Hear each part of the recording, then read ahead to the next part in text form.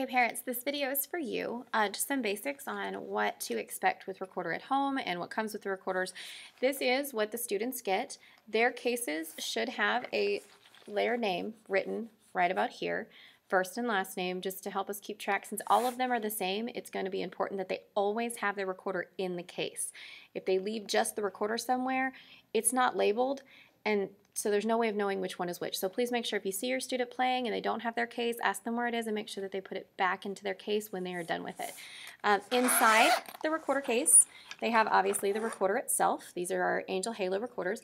On the recorder, there should be a fuzzy dot spot. I have the kids inventory their cases, make sure everything has what it should have.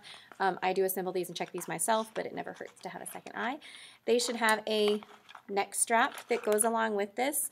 Um, it's not necessary to play the recorder with the neck strap, but what that's for is in class or if they're at home and they're playing and they want to stop and take a break or move a change a page, mark something in the music to help themselves out, it just hangs there for them. To attach the neck strap, what the students do, and I go over this with them the first day, is they have to twist apart the head joint, set it down over the body, and then twist the head joint back on. And anytime they're lining up their recorder, this tone hole should be lined up with a straight line of holes down the body of the recorder. I'm trying to get that so you can see it. So tone hole down the straight line of holes here. That means the recorder is set up and then all they have to do is pull it up to the top, put it around their neck, and they're ready to go. Uh, these do have a snap free, so if there's ever any issue with somebody getting some, it's getting pulled or it gets caught on something, it will unsnap, so it won't cause any damage to the kids. Um, we care about them. In there as well, there is a cleaning rod. Now, I talked to the kids about this first thing as well, but some of them forget. By itself, this cleaning rod does nothing.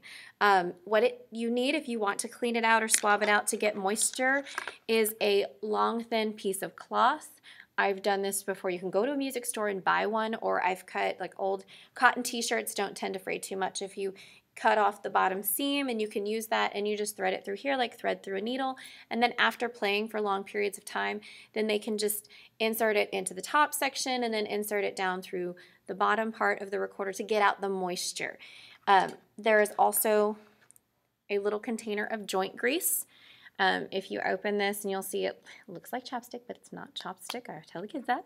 Um, this is really only used if it's difficult to twist on or off the head joint of the recorder.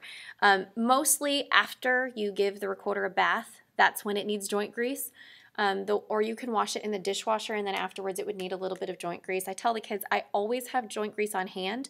So if they end up having to wash it in the dishwasher if they're ever sick when playing their recorder, please take it apart, set it in the top rack of the dishwasher, turn off the high heat dry, and the recorder will be washed. Or you can soak it in a sink of soapy water and then just rinse it really thoroughly afterward. Um, when they're done, it's going to be a little tough to twist on. All you would do is put a little touch of joint grease on your finger and then just put it around this joint area right here all it needs is a touch. If you put too much, then it clogs it up and it won't twist on either. And then you'll just be able to twist it on like that. So that's the basics of how to take care of the recorder and everything that comes with it and the purpose of it. Now, as far as practicing is concerned, I sent uh, a message that said they need to practice 20 minutes a week. It's actually better for muscle memory if they break that up into small chunks throughout the week. And practicing should sound purposeful. So if they're sitting there with their recorder at home and they're just wiggling their fingers around like this, that's not purposeful practice. They need to be doing purposeful practice. So the first couple of weeks, they don't know a lot. What I tell them is to practice making nice sounds, and we have a little rhythm that we do. It's uh, how much dew does a dewdrop drop drop if dewdrops do drop dew? And I have them do it with their tongue only on dew, and they go do do do do do do do do do do do do do. And then we talk about not singing into your recorder or speaking into your recorder. It's just the air, and it should be gentle. I call it flicker candle air because if you had a candle in front of you, you should be able to do that rhythm with the doo doo doos without blowing the flame out. So it should sound like this. And that's the kind of air they put in their recorder. So the first couple of times, all they're going to be doing is just holding the recorder and practicing with a nice sound. If it sounds loud, they are blowing too hard, and you can remind them, I know that Miss Turner expects you to use gentle flicker candle air. It should not annoy you and hurt your ears. The steady one sound may annoy you, but they'll learn more notes. They have to develop a good sound first. Once they learn a note, and I will teach them one the first time, but that's not their main purposeful practice for the first week. It's just making a nice sound. They could take a you know nursery rhyme they know, Mary had a little lamb, and just do do do Mary had a little lamb on their recorder. And they could even just do it with a head joint. And I told them uh, I'll be telling them this too.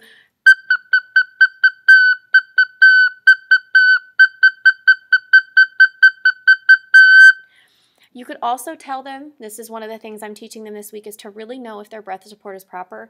If they take just the head joint and they put it against their hand, it should make a nice low sound like this.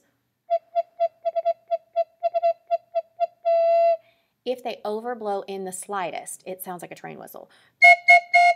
And then you can tell them, whoa, that's not the right sound. And they know the right sound and they know what the target sound is. So, this is one of the practice tools that I gave them for the first week when they take their recorders home that I want them to do. So, if they have one of these Halo recorders from me, um, it makes it really easy to check the air. And so, if they're too loud in the house, you could say, hey, take the head joint. Show me what that's supposed to sound like. Miss Turner said it's supposed to sound cool if you do it right, um, or not cool if you don't. Uh, they can also take it outside. It is okay to play the recorder outdoors as long as your neighbors won't be thoroughly upset. It shouldn't be so loud that it bothers them. Um, sometimes, if you have pets, the dogs go crazy or the cats start meowing when they start playing recorder. I myself am a flute player, so I understand completely. Um, but it's totally okay to take the recorder outside. It's not going to hurt anything. Even if it's raining, they could go sit on the porch in some covered area. It actually sounds really cool to play recorder out in the rain. Um, so that is always an option for the kids, but practicing really helps their muscle memory. There's not much that I can do for them if they don't develop that in 50 minutes a week.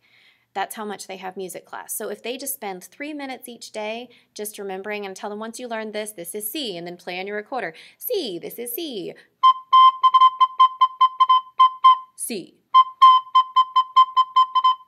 This is C. If they did that for three minutes a day for the first week, then, then when they get to music class and I say, show me C, they're going to go, boom, I've got it because their fingers feel that and it's associating their brain with that motion. And if they've done it every single day, it gets easier and easier and easier. And then when we add another one, then they learn to associate that feeling.